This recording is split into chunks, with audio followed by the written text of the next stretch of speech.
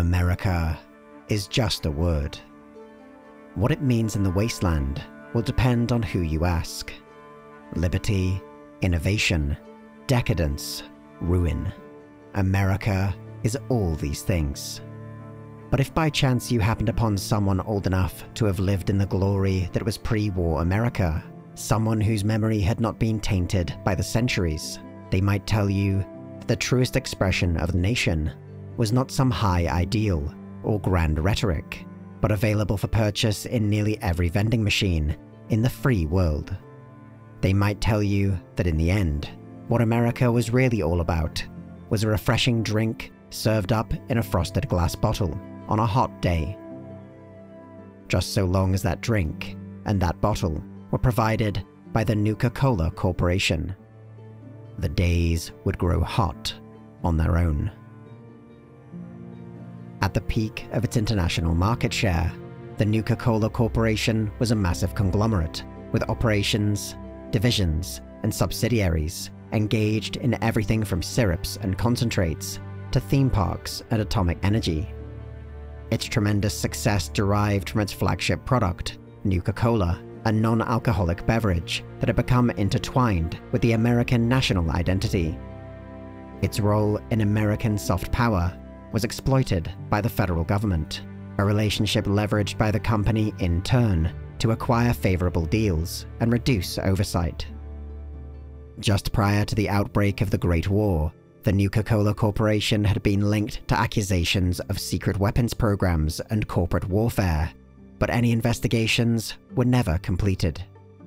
In the modern wastelands, it remains a powerful symbol, evoking nostalgia for the old world and the enduring idea of America itself.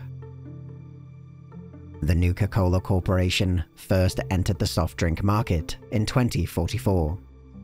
The formula behind their eponymous product was the result of two years of refinement by amateur chemist John Caleb Bradberton and his team of self-styled beverageers. It was an instant success. Within only a year, it had displaced even the established brands to become the most popular beverage in the United States. Just a few years after that, this overwhelming demand was replicated all across the free world. Criticism was leveled against Bradberton's formula. A single serving of Nuka-Cola contained 120% of the daily recommended allowance of sugar, but the success of the product overwhelmed its detractors. In just a few years, the corporation had become an economic giant. Bradberton was elevated to a national business icon and according to company law, was moved by the public's love of his soft drink to create Nuka World, the world's first soda-themed amusement park. Its gates opened in 2050, and despite featuring only a few attractions, the park was an instant success. Expansions and additions were developed across the ensuing years, along with plans for other Nuka World locations across the country. To maintain their overwhelming dominance across the market, Bradberton and his beverageers continued to experiment with their original formula.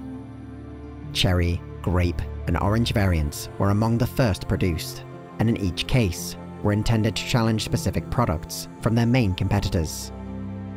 When this direct approach faltered, the Nuka-Cola Corporation pursued aggressive, usually hostile takeovers of rival companies. With immense amounts of essentially free marketing generated by its theme parks, combined with its vast capital reserves that the company could mobilize. Only in rare cases did rival products avoid falling under the Nuka-Cola corporate umbrella. Its omnipresent role in American life made Nuka-Cola far more than just a household name. By the early 2060s, a combination of timely marketing and strategic placements turned the drink into a cultural icon one that aligned with the grand narrative of innovation and progress promoted by the federal government. Nuka-Cola costumes and other branded merchandise routinely sold out, while its mascots, Bottle and Cappy, became some of the most recognizable figures in popular culture. The mutually beneficial relationship between the Nuka-Cola Corporation and the US government blossomed in the final years leading up to the Sino-American War. Federal authorities were eager to exploit the brand's widespread appeal by infusing patriotic messages into its already ubiquitous advertisements. In return, the corporation was awarded massively lucrative government contracts, and regulatory bodies were pressured to turn a blind eye towards many of the company's activities. The outbreak of open warfare with the People's Republic of China in 2067 propelled this partnership even further. Though outwardly merely a soft drink company, John Caleb Bradberton and his team of beverageers had come to represent some of the most talented chemists in the nation. Wartime censorship swiftly buried any details of this evolving partnership, though rumours persisted that the beverageers were consulting on the development of chemical weapons in secret army research laboratories. Genetic engineering was another field in which the corporation allegedly benefited from its close relationship with the government. Safari Adventure, considered at the time to be the crowning achievement within the Nuka World portfolio, featured hundreds of exotic animal specimens from around the world. This new addition to their premier theme park was another instant hit, but dogged by speculation of covert animal experimentation taking place in hidden underground facilities.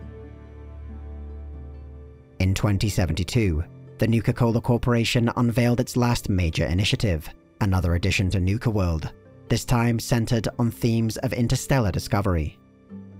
Galactic Zone was designed to showcase the utopian future that American technology would provide, but as the war with China dragged on, its optimistic messaging appeared increasingly at odds with world events. This was reflected in the park itself, through its connections with the federal government, Bradberton had arranged for Nuka World to double as a protected shelter in the event of nuclear war. As part of this arrangement, military-grade robots were incorporated into the park's security, disguised as harmless replicas, and paraded as attractions in their own right. In the final years of its existence, the Nuka-Cola Corporation struggled to survive the increasing uncertainty brought about by the Sino-American War. As global supply chains faltered and civil society began to collapse, the fortunes of the company dwindled. Budgets were slashed in every department, while the rollout of Nuka-Cola Victory and Nuka-Cola Quantum, the last variations in its flagship product line, were not enough to revive the corporation's fading prospects. On October 23, 2077, the company simply evaporated in the global nuclear exchange that would come to be known as the Great War. In the modern wastelands, the legacy of the Nuka-Cola Corporation is expressed through tattered, faded billboards and bottle caps elevated to the status of currency. But even 200 years after the last Nuka-Cola was bottled, Entire pallets of the drink can still be found in relative abundance. Such was the thirst of the pre-war population that even the limited supply not destroyed in the Great War has been more than enough to provide for the scattered survivors. For most, it is the only tangible connection to their past they are likely to find, a fleeting taste of what America once was. But the Nuka-Cola Corporation was far more than just a popular soft drink. Though it presented itself as the ideal American company, bubbly and optimistic, in its later years, this was increasingly a facade behind which lay a labyrinth of secret deals and backroom arrangements.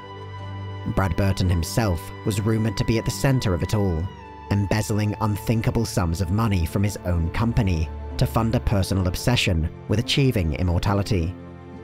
Some even speculate he succeeded, trading the underlying formula behind Nuka-Cola Quantum to the government in exchange for what he desired.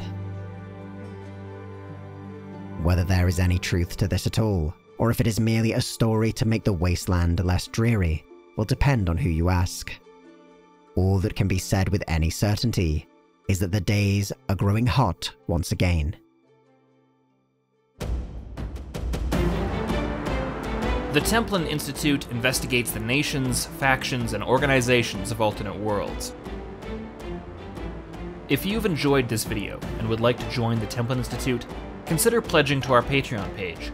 Along with increased security access, you'll be able to vote in polls to determine future topics, get custom wallpaper every week, and receive some other exclusive rewards.